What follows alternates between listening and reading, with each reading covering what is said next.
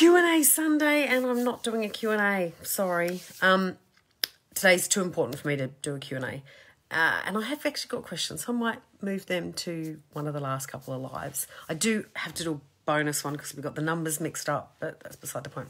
Tonight I want to talk about death. Hmm, fun topic. Go, Sam. Um, why? Because, cheers, mum. Today is the third anniversary of my mother's passing. And I'll give you a little bit of context on that. So, nine years ago now, um, within a six month period, my uh, brother passed away. Then my mother had a massive stroke and had to come and live with Elodie and I. And then my father passed away. So my whole world kind of turned upside down about nine years ago. And then three years ago, after living with us all that time, mum passed away. She had so many health issues during that time multiple strokes, heart attacks, you name it had happened, but the end came pretty quickly and was une- unexpected. Um, so, why do I want to talk about death? Because death is an awful thing and it is a beautiful thing. I did not expect to lose my dad at 38 and lose my mum at 44, 40, how I? 43. Whoops, can't count. Um, 46 tomorrow. Yay. Yay me. But when it does happen, you there's this and we've all heard the different stages of grief. So I'm not going to go through those because I think the stages of grief are a bit like a journey to entrepreneurship. People think there's like this loop or there's these few things that you go through. And it's not. There's a gazillion things. And you can be angry one day, sad the next day, happy the next day. You're laughing about the fact that they died five minutes later. And then you burst into tears. Um, and we all we all cope with all of those things differently. What for me death has meant, and in particular my mum, is mum had she wanted to celebrate life. Always. Life was a celebration. In our family, you got taught that if someone died, you had a party. If someone got married, you had a party. If someone got a job, you had a party. Like life was to be celebrated. That didn't mean sometimes she wasn't a miserable so and so, but everything was to be enjoyed. And so every year on her death, on the anniversary of her death, I do something to enjoy to commemorate her life, and it means so much to me. So I went to the fish markets today and had oysters and some lobster and some champagne, which is what she would have loved. And then tonight, Peking duck, because she would have loved that, and a little bit more champagne. Um, I sound like a lush, but it's only my second glass because that's what's important. Now, there are other people around that think I'm a nutbag for doing that. But again, like how you in like how you get up in the morning, your morning routines, all of those things are totally up to you. So how you want to celebrate or grieve someone's life is completely up to you. Mm, I love you too, darling. And no one has any right to tell you how you should or shouldn't be doing it. They really, really, really don't. The party we had for mum's funeral, oh my gosh, it was like an 11 hour wake. She would have loved it. In fact, she just would have been really grumpy that she wasn't there eating the croquembouche. Croquembouche, I can never say that word. A thousand percent she would have. And as you heard me say, you know, it's my birthday tomorrow, and I was a bit pissed off when she died. I was like, great. And then it was kind of like, no, she knows, A, I'm never going to forget and means I'm always going to have a glass of champagne around about that time, so it kind of works well.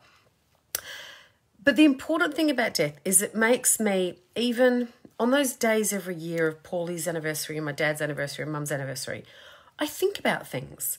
I, cheers, Jill. I think about what I'm doing with my life, why I'm doing things with my life. Am I making the most stupid excuses to not do things? Because I might not be here another, like the next day is never guaranteed for any of us. Us young ones, we think, man, I got years to get it all done. Sometimes you don't. Sometimes you truly don't. And there's a great book, and the name was just, lost, the name's fallen out of my head. It was written by a nurse, and it's all these stories about people as they were dying and their regrets and their wishes and things like that. Oh, oh God, if someone knows what it's called, please put it in the notes because comments because I've totally forgotten.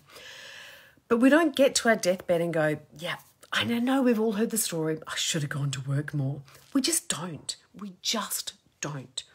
Life is to be celebrated with friends, family, loved ones. Life is to be spent doing things you want to do.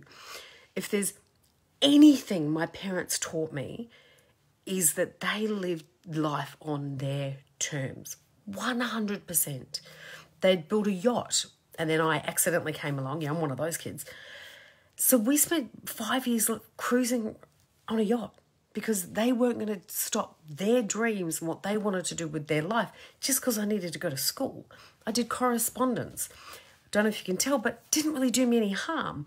So, ironically, this year, when everyone was getting really panicky about their primary school age kids not going to school every day, I'm like, done it for years, I'm fine. Um, they did things on their terms. When mum wanted to start a new business, she did it. When dad wanted to start a new business, he did it. If they wanted to get dressed up, they got the fancy dress parties, all sorts of things. They did it. They both got to the end of their lives not having missed out on stuff. And they taught me that, and I'm forever, forever, forever grateful.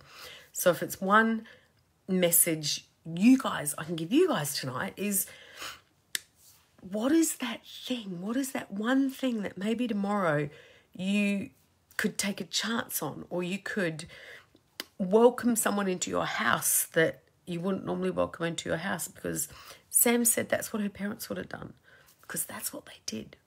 Everyone was welcome, everyone was given a chance, everyone was equal, and everyone had the opportunity to have a good life with them. Everybody. I'm so grateful. So I'm not scared of death. I don't want to die, not for a long time anyway. But it doesn't scare me so much. What does scare me is dying while you're alive. Is not doing the things that you're meant to do while you're alive. Is not taking those chances. It's not spending time with people that you care about. Not not wearing the crazy outfit, even if people are going to laugh at you and tell you to look like a nincompoop. Wear the outfit. You know, if you're 60 and you want to wear ripped jeans, wear the ripped jeans, okay? Don't listen to people. Do what you want to do. So, cheers, mum. Cheers, dad. And um, happy Sunday, guys. Sorry, I'm trying not to cry, but I really, really, really, really want to cry now. I'll um see you all tomorrow for my birthday. Bye.